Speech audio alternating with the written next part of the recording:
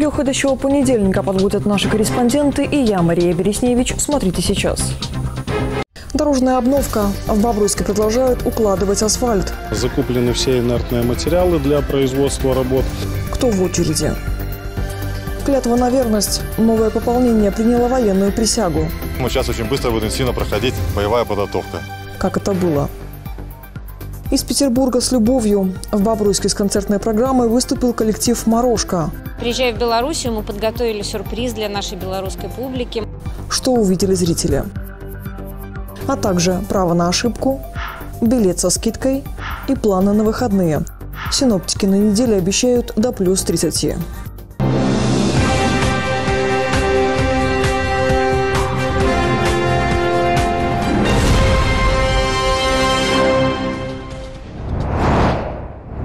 Комфортное движение. В городе активно обновляют дорожное полотно. В списке интернациональное Сикорского проспект строителей. Есть планы и на социалистическую. Где еще появится новый асфальт, выяснила Карина Гуревич.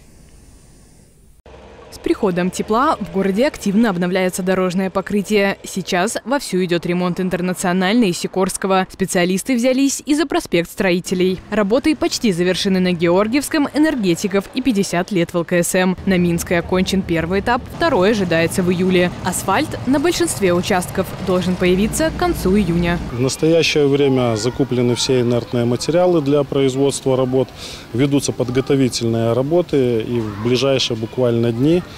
все работы закипят с новой силой. С э, более высокими прочностными характеристиками применяется асфальтобетон на улицах, имеющих интенсивное дорожное движение. Срок годности полотна – 5 лет. Дорожники уложили почти 3 километра асфальтобетона, в том числе и на парковках. Скорого ремонта ждет и социалистическая – от центрального рынка до Бахарова. Грейдирование тоже в планах. В список включены все улицы без усовершенствованного покрытия. Работа должна закончиться до календарной осени. Плюс в некоторых частях Бобруйска изменилась разметка. На Минской появились дорожки для велосипедистов. Теперь любители двухколесного транспорта могут здесь не спешиваться. Если тенденция зарекомендует себя с положительной стороны, то такие же прерывистые линии появятся и на других перекрестках.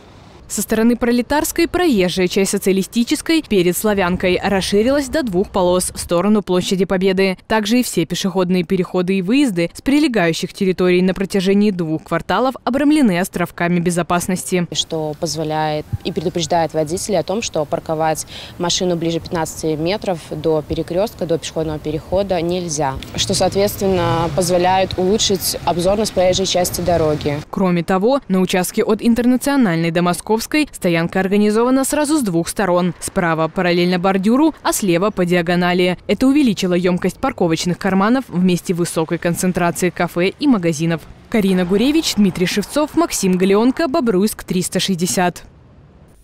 Священный долг. Новобранцы приняли присягу.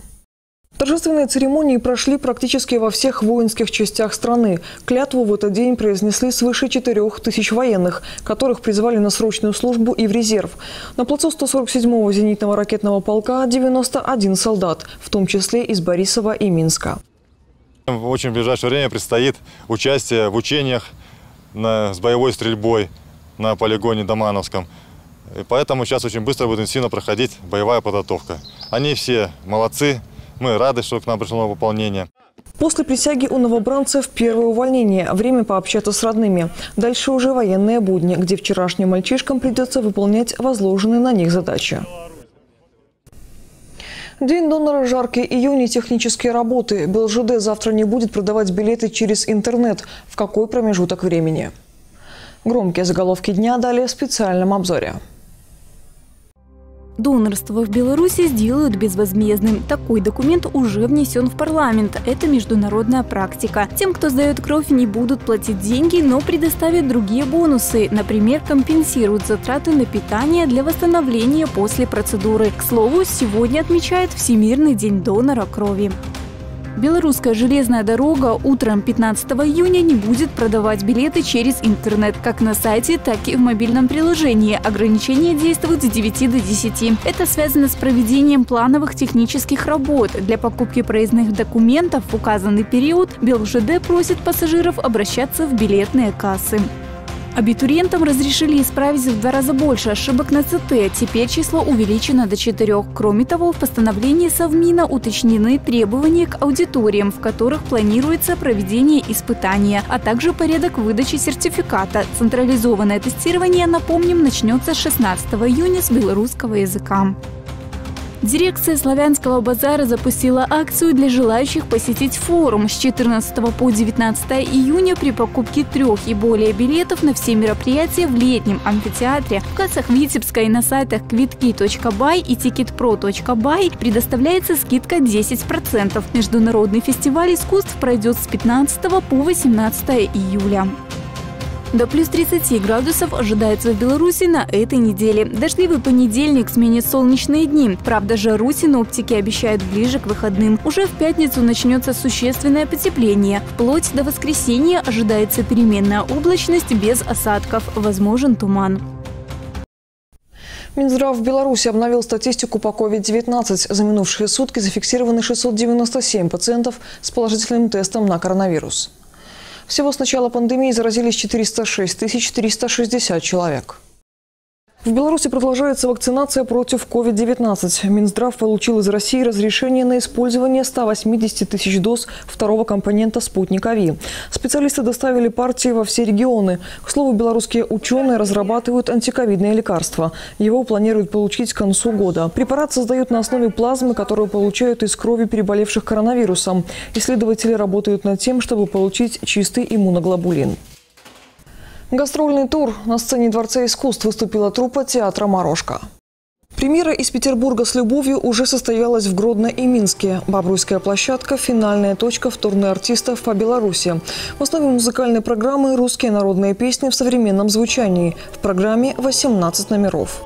Приезжая в Белоруссию, мы подготовили сюрприз для нашей белорусской публики. Мы исполним в самом конце песню Александра Пахмутова и Николая Добронравова «Молодость моя Белоруссия». Конечно, мы не могли, не приезжая в гости, что-то такое не сделать. Театр песни и танца «Морошка» создан в 2009-м. Побывал с гастролями во многих странах мира. Создал концертную программу, основанную на фольклорных произведениях, но исполняемых по законам Академического музыкального театра. Это все из событий к этой минуте. Смотрите нас в интернете и в соцсетях. Мы в эфире каждый будний вечер. Счастливо!